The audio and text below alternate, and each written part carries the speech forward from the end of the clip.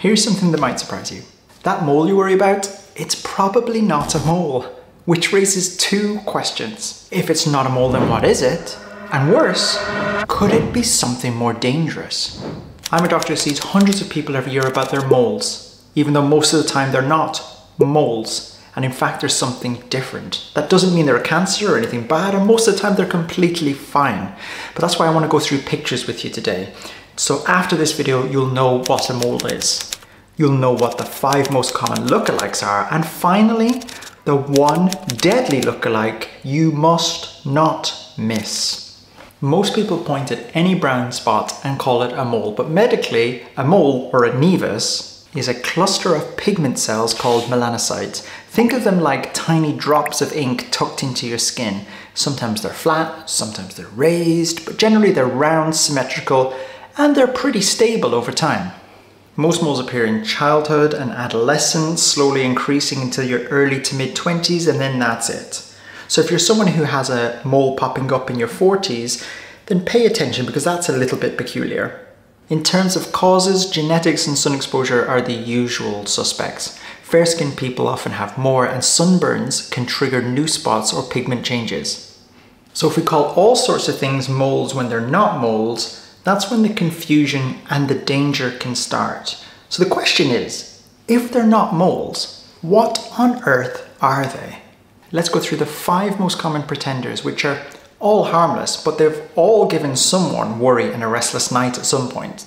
Seborrheic keratosis. These are my favorite fakes and I probably see thousands of them every year. They can look terrifying, these dark, crusty, stuck on blobs. People often come into me convinced that it's something bad, but here's the truth. These guys are more like barnacles on a ship. They're ugly, crusty, a little stubborn rather than a cancer which invades and sticks its fingers into things. They can pop up in inconvenient places like at the bra strap line where they catch on things. But apart from that, otherwise, they're completely harmless. Now let's compare them to a mole. Notice how they sit on the skin, almost glued on and often have this waxy wart-like texture. They don't change much in time and they can pop up in clusters like this little army of harmless invaders. Skin tags. Now these aren't very mole-like, but these little dangly bits can be very worrying to people. They're usually in the armpits, neck, under the breasts, or even on the eyelids. Really, they're just extra flaps of skin that wiggle a bit when you move. They can catch on necklaces and clothes, and sometimes they appear in clusters. Annoying? Absolutely. Dangerous? Not at all. They tend to pop up quite quickly in clusters in areas of friction or if you've gained a little weight. And the reason I show them is to reassure you that they are not anything to worry about. Solar lentigines, sunspots. Consider these your skin's coffee stains on a white shirt after years of sun exposure. I guess they're a bit like a cross between a mole and a large freckle, but at the same time, they're different to both. Unlike true moles, sunspots tend to appear later on in life after years of sun exposure in sun exposed places like the face, the shoulders, the hands. They're usually flat, symmetrical, one single color, and unlike freckles, they don't just fade away in the winter. In themselves, they're completely harmless, but it's what they represent.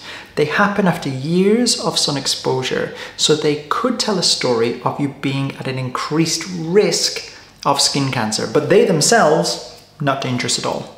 Cherry angiomas. These are made entirely of blood vessels rather than pigment, so they're not remotely related to moles at all. And the name tells you what you need to know. They're bright red, dome-shaped, spots that look like cherries, or if someone used a red marker on your skin. And they're super common, especially as you get older, but they can appear in clusters, and that can freak people out because red means danger, right? But the reality of it, is that they're just harmless vascular dots. Sometimes they bleed if they're scratched, but that's the only drama you'll get. Dermatofibromas. These are little firm bumps, usually on the legs, sometimes brown or pink. They can catch people off because they feel different to other spots. A standout feature that clinicians find in them is that they dimple if you pinch the skin.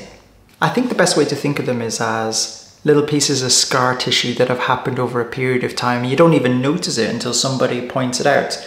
They themselves are completely harmless and they tend to just stick around. but they can be difficult to tell the difference between this and some other forms of skin cancer, so you should probably get it checked. Because most of the time, if it's not a mole, it's one of these harmless skin spots that are not dangerous at all, but not every time. Sometimes it's something dangerous, sometimes it's something you can't afford to miss. So these are far less common than all the skin lesions I've told you about, including moles, but melanomas are a type of skin cancer that can be deadly.